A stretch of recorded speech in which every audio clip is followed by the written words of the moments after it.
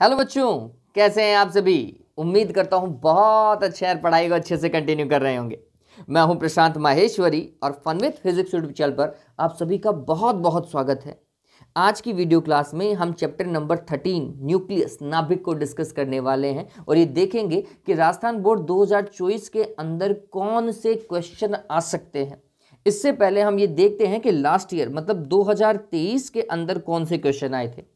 तो अगर मैं पेपर को देखता हूँ तो यहाँ पर डेढ़ डेढ़ नंबर के मतलब वन एंड हाफ़ और वन एंड हाफ़ मार्किंग के दो क्वेश्चन थे, जिनमें से एक था radioactive decay law radioactive decay law था जो पहले सिलेबस के अंदर था वो, और उससे रिलेटेड एक न्यूमेरिकल आया था। ठीक है? तो लॉ पूछा था मतलब रेडियो एक्टिव सहायता का नियम पूछा था और एक न्यूमेरिकल पूछा था। फिर इस डेढ़ मार्क के अंदर रिमेनिंग डेढ़ मार्क के अंदर तीन डेफिनेशन पूछ ली गई थी। जिसमें एक था नाभिकीय सलियन, एक है विखंडन, और एक है द्रव्यमान क्षति। मतलब न्यूक्लियर फ्यूजन पूछा न्यूक्लियर फिजन पूछा, और मास डिफेक्ट उन्होंने पूछ लिया था। तो ये वाला पार्ट था जो लास्ट ईयर पूछा गया है, ठीक है?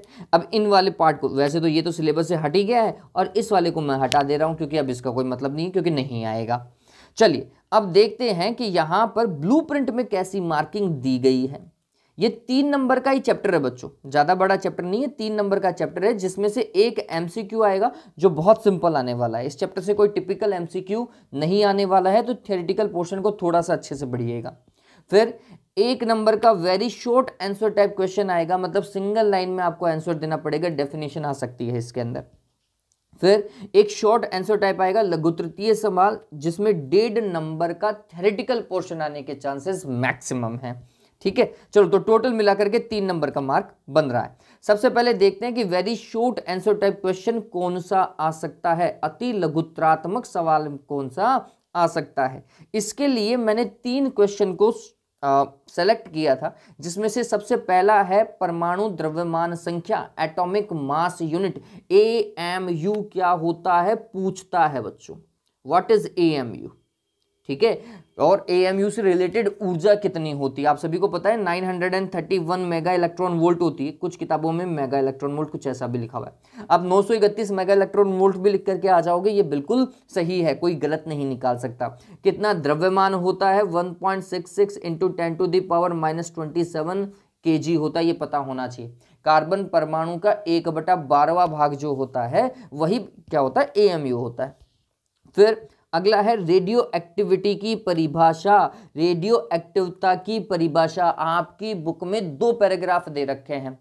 वापस से बता रहा हूँ, ये सिलेबस का पार्ट है, सिर्फ़ रेडियो एक्टिविटी इसके आगे पीछे कुछ नहीं।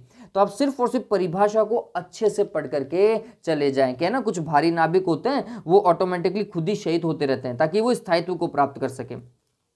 चलो, फिर है बंधन ऊर्जा। तो ये जो तीन सवाल हैं कौन कौन से ए रेडियो एक्टिवता और बंधन ऊर्जा बाइंडिंग एनर्जी इन तीनों को अच्छे से पढ़ करके चले जाइएगा। आपका एक नंबर का सवाल मुझे लगता है इन्हीं पॉइंट से आने वाला है। चलिए, अब देखते हैं कि डेढ़ नंबर के लिए हमारे पास में कौन सा न्यूमेरिकल है। आपके लिए मैं इन न्यूमेरिकल्स को या फिर न्यूमेरिकल मतलब कौन से क्वेश्चन जो आने वाले हैं, इनका वीडियो लिंक शेयर कर दूँगा डिस्क्रिप्शन में देख लीजिएगा। चलो, देखो।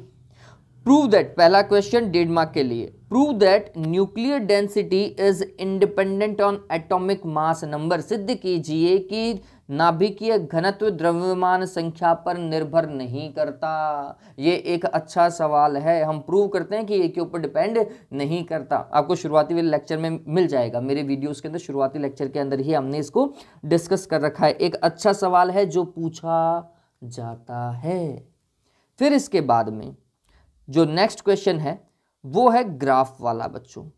पर न्यूक्लियन बाइंडिंग एनर्जी और graph between per nucleon binding energy and atomic mass number आपको याद हो, आपकी बुक में कुछ इस तरीके का ग्राफ है? है ना, ये ज़्यादा बना दिया यहाँ पे। कुछ इस तरीके का ग्राफ है। ठीक है, और उससे पता चलता है कि एफ़ ई की पर न्यूक्लियन बाइंडिंग एनर्जी सबसे ज़्यादा होती है। इस तरफ़ ए है, इस तरफ़ ई बी बाई ए है। ठीक है, per nucleon binding energy.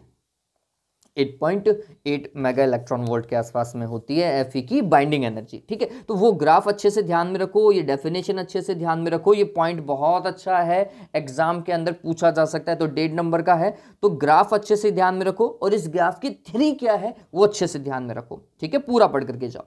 फिर मेरे दृष्टिकोण से सबसे इंपॉर्टेंट क्वेश्चन ये है प्रॉपर्टीज़ ऑफ़ न्यूक्लियर फोर्स, नाभिकीय बलों के गुण और कोई तीन गुण मिनिमम याद करके जाओगे, पता चले दो में से लट जाओ। ना, मिनिमम तीन गुण तो याद करके ही जाओगे। इसी के साथ में आपकी बुक के अंदर इससे रिलेटेड एक ग्राफ भी है। कुछ इस तरीके का ग्राफ है, ठीक है? तो ये प्लीज़ है ना, याद करके जाइएगा। इस ग्राफ को अच्छे से स्टडी करके जाइएगा बच्चों। ठीक, ये ग्राफ ऐसे नीचे की तरफ़ जाता है ना? कुछ इस तरीके से। जो मैंने डायरेक्ट वैसा बना दिया, ये कुछ इस तरीके से जाता है। दिमाग में रहेगा। चलो, उम्मीद करता हूँ आपको पता चल गया हो कि इस चैप्टर से क्या क्या देखना है। ठीक है? Have a good day take care